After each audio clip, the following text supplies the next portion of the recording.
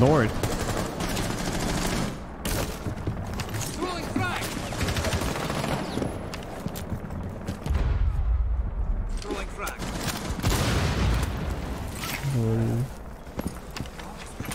Secure room. Oh, Swapping back.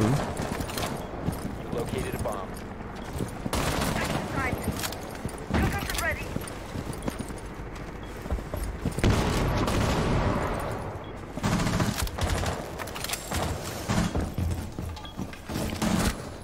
Four last stop standing. Op four eliminated. Friendly mission successful.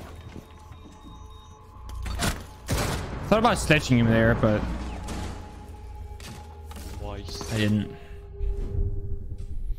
Now, do you guys know the reason why I won that round? It's because I fucking hurt the guy jumping out the window. If I hadn't hurt those guys, I would have died, right? Because I would have flicked them. But when sound works, it's so easy. But the issue is, sound doesn't work a lot of time. But it worked there. Holy shit, it worked wonders, man. Fuck. I heard everything. Fucking nice. Somebody asked if an injury as Ash gets two kills and dies without using any utility or they do their job? It's not that black and white, mate. It's not that black and white. You can get four kills and still fail, you know, like it it really depends as well. Like if you're playing cafe, then clearing utility is really important. But also as an Ash, you shouldn't get two injury kills before using your Ash charges unless the enemy is literally running into you. You know what I mean? In that case, you're not doing your job. You're just holding angles or that you're winning at once. So, in a perfect world, you want to use some utility before you die. Like you should never die with two drones alive, unless they're flying drones, right? You should never die with three flashbangs and two ash charges. Like you should always use utility. The times where you don't is either when you're roam clearing or uh, like if you just get peeked to see forward or whatever. But even when you're roam clearing, you shouldn't be afraid to use utility or drones because you gotta get to you gotta get through the first step to get to the last step, right? So if it needs to take some ash charge at the beginning, then don't worry about it. What languages do I speak? Danish, English, Swedish, Norwegian, and a little bit of German.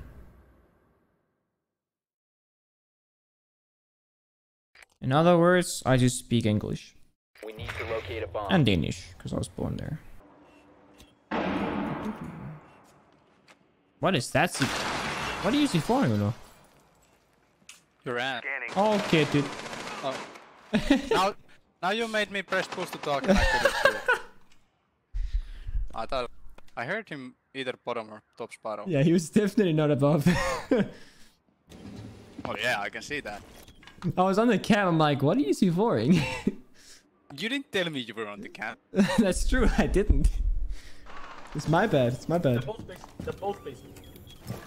That death is definitely your bad. Yeah, I would have killed him if I didn't press my capsule. Yeah, my bad, bro. I take full responsibility.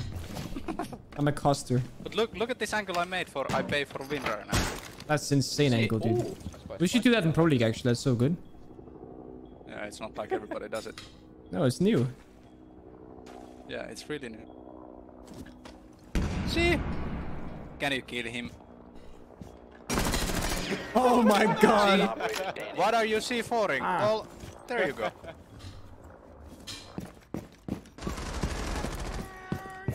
One more outside reserve.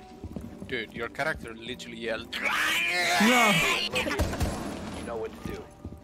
In the moments, do I think of engagements as a percentiles or probability? Yeah, percent per, per percentile percentages. Yeah, I don't know why that was so hard for my brain.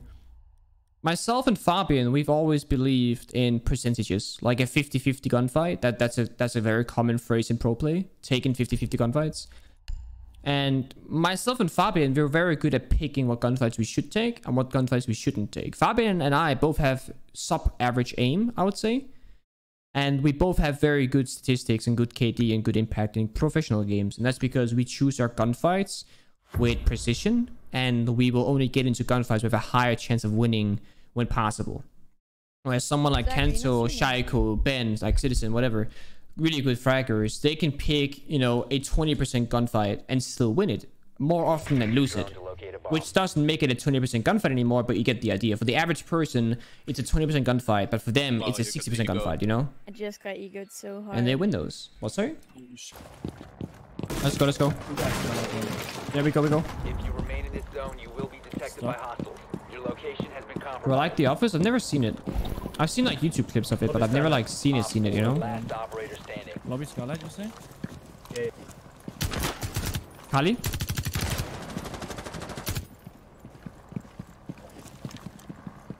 Let me ace! Enemies, Let me ace! enemies. Need like high altitude. I can't like peek it correctly here. Maybe if I go further left, I can get like...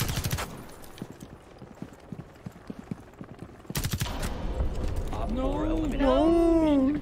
You're toxic. I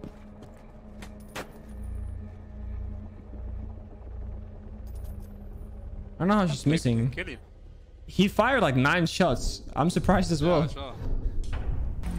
How often do I suggest the new comp team should scrim? I mean, it depends how serious you guys are. If you want to seriously improve and go for Challenge League or Nationals, I'd recommend scrimming if possible due to scheduling. Scrim at least five times a week.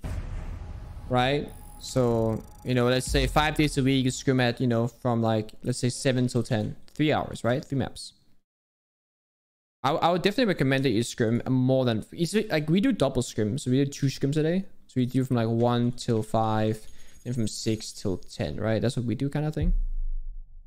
Um but if you're not not full time and you're just like up and coming like scrim five days a week if possible. If you if you're grinding and you're not do it passionate do it more go for it. Some teams like having weekends off some don't. In my opinion was Goga the best support man in the world in his prime. In his prime i think so yeah Goga used to have this like perfect way of playing like aggressive when he had to and passive when he had to I do think so, yeah. Back in Goga's prime, I think he was one of the best, if not the best support player in the game for sure.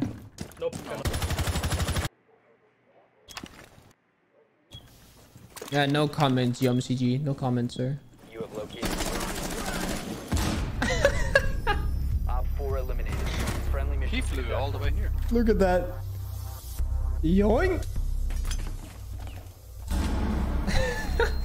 Thank you, Mr. Smiley. Chef. This guy just called UUNO Babs. Jesus. Jesus. UUNO is literally one of the best grenade players in Europe right now. Like, I'm not even kidding. UUNO gets so many nade kills. He's like the BC of EU nowadays. Thank you, Gear. What was Doc doing? It was a rook, no? Yeah, he used to be terrible at nades and C4s, yeah. UUNO is definitely one of the best people, uh, best players in Europe, in my opinion. Definitely. 100%. We get a stream in Danish? Fuck no. Disgusting ass language. Achieve has the worst C4 conversion in A. I saw Achieve has thrown the most C4s and missed the most. Meanwhile, Hyper is 5 for 5. That's some fucking value right there. Shuttle's like 50-50 on like a bunch of C4s. Impressive. I like those stats. They're really fun to watch.